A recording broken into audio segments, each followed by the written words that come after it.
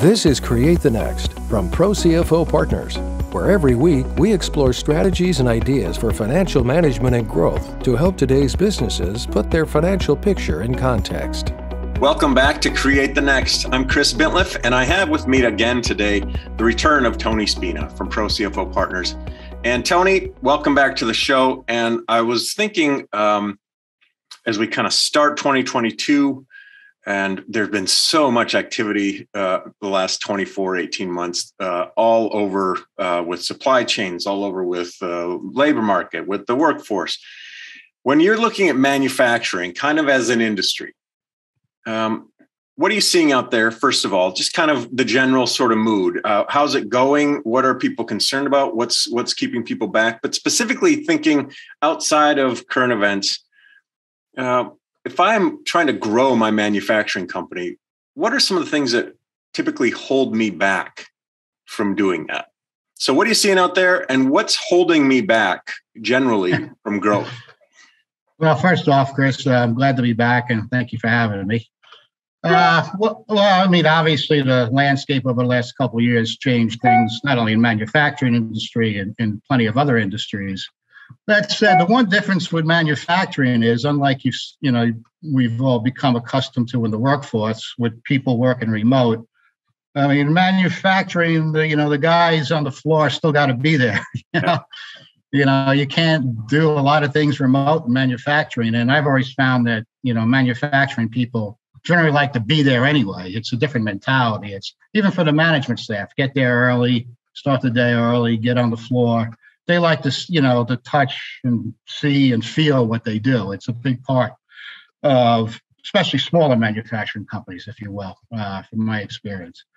That said i mean growing a manufacturing company i don't think has changed all that much. I mean during the last you know 18 months or so you know in, with covid and stuff you know companies pivoted and found other ways to you know to generate or satisfy the revenue, you know, revenue they need to survive. And the, the company, there are a lot of companies who are very successful at that, um, entering new uh, industries and markets to, if I hate to use the word, but capitalize on COVID, but in some ways service like, you know, a new industry, uh, you know, that COVID created. For instance, I had one printing company that you know, they never really did anything for schools and you know hospitals are very not not much, but you know with all the signage that came out with um, you know social yeah. distancing and you know there were opportunities there, so they were able to pivot, you know, use some of their machinery and equipment, you know, to help fill some of that demand, and it replaced you know 100% the revenue that was lost through the traditional channels? Probably not but they were still able to, to pivot and resulting, you know, they've actually, uh, this one particular company actually was able to keep many customers in some capacity as a result of what they did during COVID. Interesting. Do you do you think that this um, a lot of smart companies, I think, um, and I don't think there's a difference between exploiting circumstances and uh, responding to market dynamics, and that's mm-hmm. what all of a sudden happened. But can that mentality continue? So I think a lot of companies were sort of forced into innovation that might have been unusual or uncomfortable for them, mm-hmm. but maybe now they've realized, you know what? Maybe we should be paying attention to other opportunities or signals that we could be flipping. Is that uh, do you think we can expect this to continue or once we sort of return to normal uh, thank god that's over let's go back to making the widgets that we're used to well i think it's really the you know people are all different right i think in you know in some manufacturing companies. It's that was like a learn new skill, and people, you know, became comfortable with it and are happy to continue along those paths. And then, you know, another, you know, manufacturing companies, maybe not so much. Maybe the comfort level isn't there. But just to go back, to, you know, what I was really wanted to expound on was like, you know, growing a manufacturing company is not that different today than it would have been a couple of years ago. I mean, I mean, for instance, one of the biggest difficulties, I think, especially for a smaller manufacturing company, is, time. I mean, in a smaller manufacturing company, you often have, you know, management is kind of involved in everything HR, finance, engineering, you name it. So they don't really have the time to work um, you know, on the business, if you will. They're working in the business, you know, and working on the business. That's where you can sit back and think, you know, and strategize. Or how am I? How am I going to grow this thing? Um, and you know, time is you know difficult for some of these smaller uh, manufacturing companies for the management thereof. So the first thing, that place to start is to actually find the time, and there may be a cost involved to finding the time. Mm. Whether if it's you know if it's the finance function, for instance, that's eating up too much of management management's time, you know, which takes away from you know time they can invest in looking at growth initiatives or you know or plan for growth and you know maybe it's time to you know outsource you know that or bring in a new employee even. And that could span you know hr too which also as manufacturing companies grow. Hr can be a huge time drain i found. And most people don't actually love hr you need you from my experience t- talking take it from somebody who actually was the de facto hr head of an organization for a number of years. And you know not having been trained in it and it grows in complexity as the company grows and you have more people. Well that's, so that's just like a couple examples. That's a uh, great point and i think there's a lot of functions that grow in complexity as the company grows but we uh, founders and executives and owners can you know as you pointed out we've got our hands in everything and this unwillingness or incapability of letting go really gets in the way. And I think you really hit on something there where time becomes our currency and we're not going to manufacture more time. So mm-hmm. if we mm-hmm. just keep adding more stuff that we feel like we need to have our hands in, uh, something's got to give. And and ultimately, what I hear you saying is the vision of the company uh, starts to be diluted or or or uh, compromised because that's the role. That's the essential role of that leader um, that shouldn't maybe be tinkering with HR or with finance functions. What's why can't I make that switch? Am I afraid to spend the money? Am I afraid to let go? Am I do I have too much sort of personal kind of feelings about what I'm doing? Mm-hmm. I'm in a manufacturing company. I deal with so many vendors and supply chain and utilities. Why why are these things so hard for me to let go of? I think a lot of it. I mean, once again, it you know speaks to the individual, and you know we're all a collection of individuals, right? But from what I've noticed, it's just kind of like a habit. You know, they're used to doing this. They're used to being, you know, closing the books, or they're used to dealing with the guy in the line who's got, you know, an HR issue, and they they've just never really known any other way. And they know, I think, intrinsically that you know it's not the right way if they want to grow. Um, and it's often, you know, like you know, taking, you know, a present away from a child or something. I don't know. It's just like, you know, you don't want to part with something that, you know, you're, you know, you're used to, you know, being involved in. And, and, and in all honesty, in, in some cases, it's fear based too.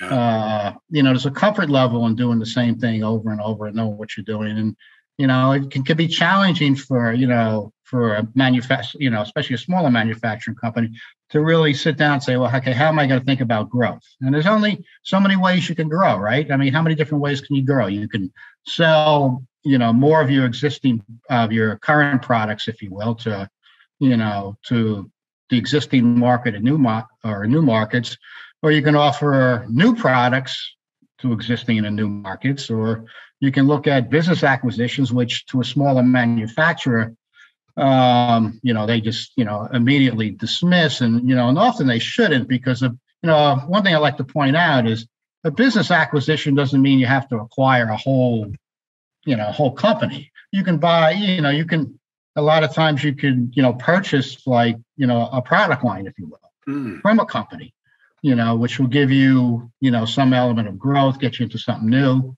you know, at a, you know, much lower cost than obviously buying the whole kit and caboodle, right? Um, you know, and those are the basic ways. I mean, that a company grows, right? And I also want to point out, you you know, people think growth, they think the top line, right, revenue, yes. and that's obviously growth. But you know, you want to grow, you know, you want to grow profitably, right? You want to grow the top line revenue, you want to grow the bottom line um, profits, and ultimately, you want to grow cash. you know, and you know, you can grow the top line and grow the bottom line, but you may find, you know, in a period of growth that, you know, your cash position is not growing, it's even decreasing because there's a cost to growth, right? I mean, if you're, you know, if you're doubling the size of your manufacturing business, what does that mean? That means that, you know, you need to usually generally means you need to carry more inventory, right? So you're investing the profits, you know, the growth back into the business, into working capital. And that can go for people too. As you grow, maybe you're only running, you know, one shift for all these years or a shift and a, and a half. And I say, well, geez, I now my demand is too great now, so I got to run a full second shift or even a third shift. You know, all those, you know, add, you know, costs. So you, the idea is to grow profitably, um, um, ultimately, and it eventually turn to cash. But when you're making that first leap to another level, often the profits that you generate will be reinvested back into the business, and you won't see the resultant cash, if you will, you know, at that point, uh, as soon as you'd like. When does it make sense for me to seek some sort of financing to help me with that? versus you know just trying to make more cash so I can spend more cash? well, I mean, well, remember, there's you know there's multiple ways you can finance, right? I like to say, you know, you know, you want short-term financing for short-term assets. So if it's an inventory receivables issue, you know, you you want to look at maybe a line of credit. So you borrow what you need, you pay back. There's no um, fixed repayment schedule. You pay back and draw as you need, and just pay interest as you go along. And under a traditional line of credit, it's usually a function of um, you know a larger line anyway. It's usually a function of receivables and inventory, where the uh, lender, the, the banks will lend you some percentage, typically 80% of receivables and you know 50% of inventory is common. And that that should um, you know help your short-term cash needs and help you build you know the inventory and, and the receivables up you know comfortably without incurring debt. Now if you're looking at you know growth through acquisition or a new product line. We, you know, we all know manufacturing is capital intensive, right? And it's almost incumbent on a manufacturing company, despite the cost, you know, to stay current with technology, unfortunately, because the cost of not staying current with technology is it could be great, right? If you're running, you know, you know, a certain product line in an old uh, 68 Ford or something, uh, to use the analogy, you know, and you're banging out, you know, 10 parts an hour. And now it's commonplace with new machine technologies to bang out 100 pieces an hour. You know, your competitors, you know, are going to beat you every time on cost. And eventually you're going to lose whatever market share you have. So you're kind of almost like forced to stay reasonably competitive, you know, with, uh, with machinery and equipment and technology. So those are longer term assets. So I mean, generally you want to finance a longer term asset with a longer term financing, whether you know it's equipment lines, which are you know a lot of banks are happy to um, to grant because the you know the loan is backed by the actual you know piece of equipment. Uh, that works well for a lot of manufacturing companies.